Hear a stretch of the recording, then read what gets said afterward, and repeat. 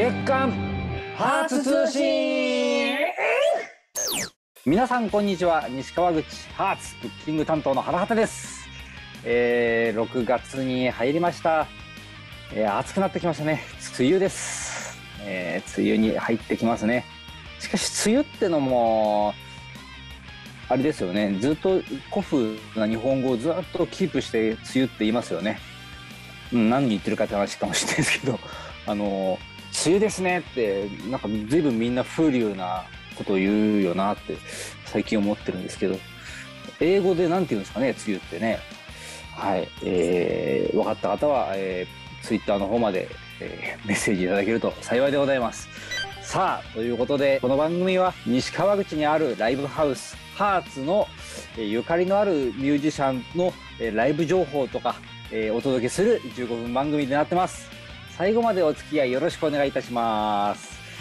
CM の後、ハーツハラハタのおすすめイベントの紹介です。お楽しみに。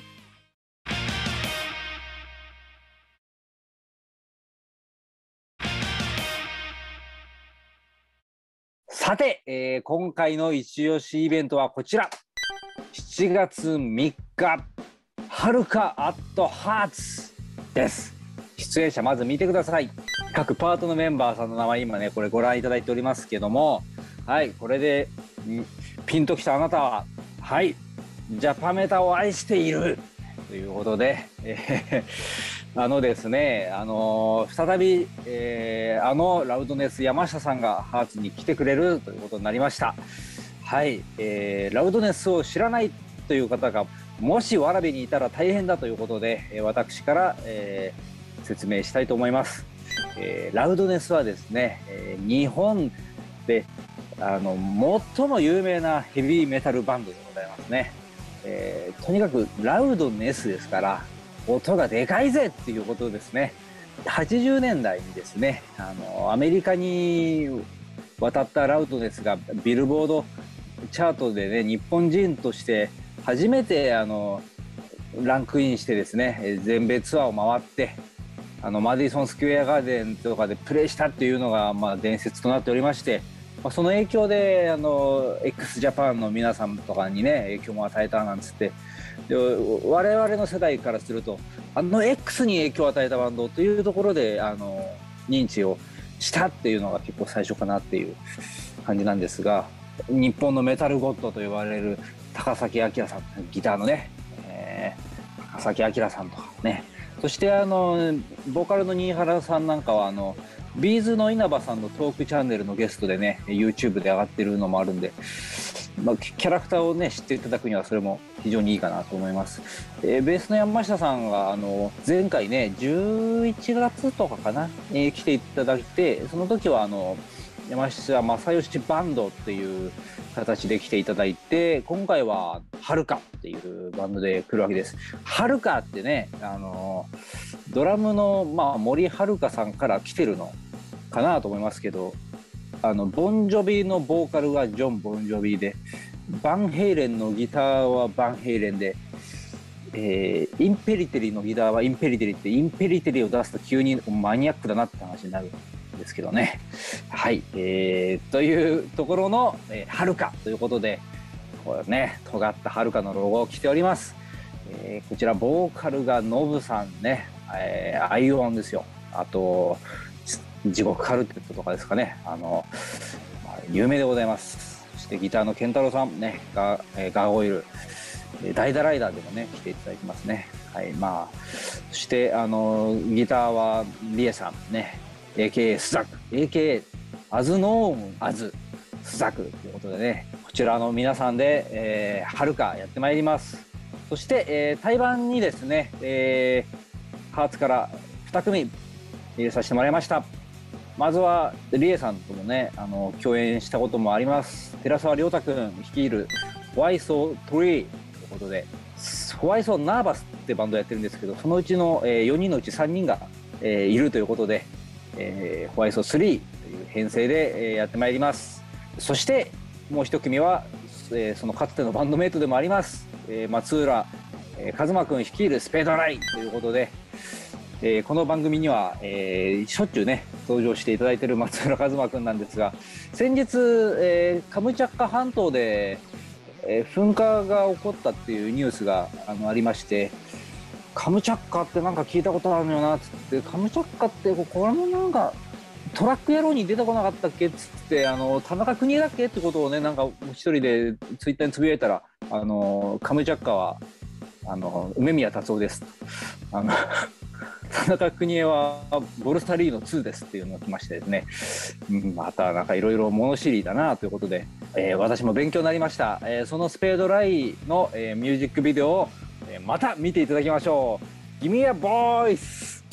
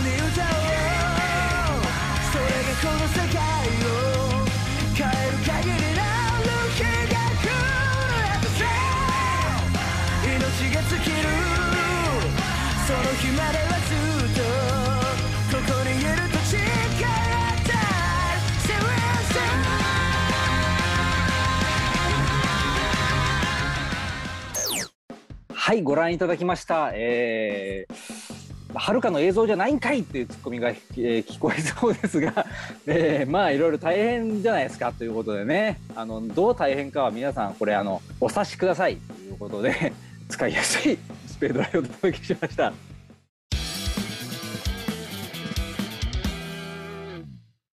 えー、ライブハウスとマスターピースということで、あのー、渋谷にありますクワトロという、えー、大きいライブハウスでライブハウスとマスターピースとイベントをやっております。そこに、えー、西川口ハーツ代表っていうのをあの選出して、え、出演してもらってるんですね。このイベントはまず、あの渋谷クワトロというところで、あの近隣のねライブハウスからあの代表的なアーティストを選出してあの一本のイベントにしてるっていうイベントです。あのおすすめのアーティストを入れるっていうことで、まあ、ライブハウスとっていうことでライブハウスが選んだ。マスターピースっていうのは傑作ってことです。か音楽業界のね新人発掘なんとかとかの言ってる人たちに、まあ、来てもらってですね是非ライブハウスをにぎわしてる人を見てもらおうというまあ、そういったコンセプトになってます。まあ、別にあの新人開発の人に限らないんですけど、あのまあ、いろいろね、あのライブハウスでどんな人がやってんだろうなっていうのを紹介するっていうイベントになっておりますので、あのこれを見ていただいたわらびの、えー、視聴者の皆さん、いろんな仕事をしてらっしゃると思います。えー、あなたの会社にこの人をなんか絡めたらどうですか？ということで、えー、紹介するのがハーツ代表で出ていただきます長友ゆりさんです。はい、長友ちゃんはですね、えー、宮崎県の出身で、えー、バンドをね、え、やってたんですけども、え同時に並行して、え弾き語りとしても、えライブ活動しておりました。それで最近はですね、クラウドファンディングをね、えー、やりましてそれがですねあのフルアルバムをいい音で作ろうっていうプロジェクトだったんですけども、まあ、一人でねあのライブ活動してるとそんなお金ってたまるわけじゃないんですよ。なのでいいアルバムを作ろうと思ったら先に先立つものはということでねあのクラウドファンディングをやったんですけどもこれね僕もあのクラウドファンディング始めますツイキャスみたいなの見てたんですけどあの2時間ぐらいで達成してました。なんか普通なかなかそんなことならないんですよ。だいたい初日でその50%とか60%とか言ってねあの終了まであと2日1日前とかであの100%達成しますみたいなのはよくあるんですけど長友さんなんか2時間ぐらいで達成してましてこのファンの熱さをですねあの渋谷クワトロの場でぶつけてもらえたらですねきっといいことが起こるんじゃないかと思いまして私長友さんを遊ばせていただきました、えー、ビデオを見ていただきましょう。一人ってやつは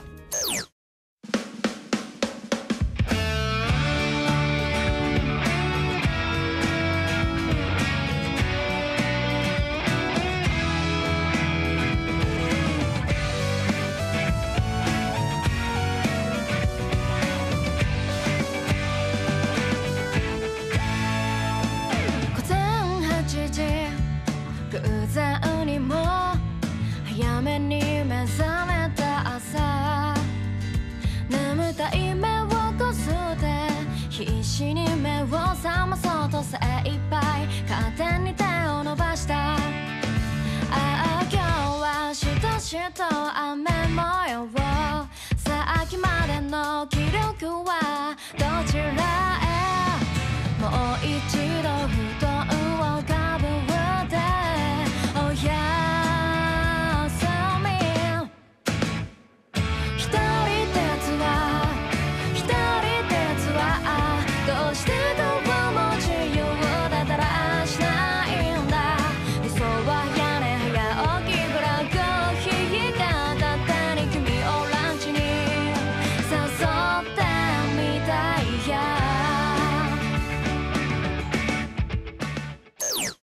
さてエンディングです。はい今回の初通信いかがだったでしょうか、えー今回はですね私にも動員ノルマというものが存在しております、えー皆様に来ていただかないと困ります。私がということで、えー必死こいておりますのでぜひ、えー、はるかアットハーツそしてライブハウスのマスターピース、えー来てください、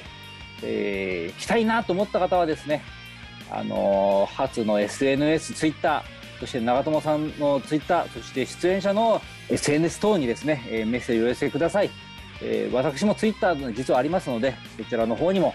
えー連絡いただいても構いません。えーどしどしお待ちしております。さああ次回の更新は7月の5日となっております。お楽しみに。それではまたお会いしましょう。さようなら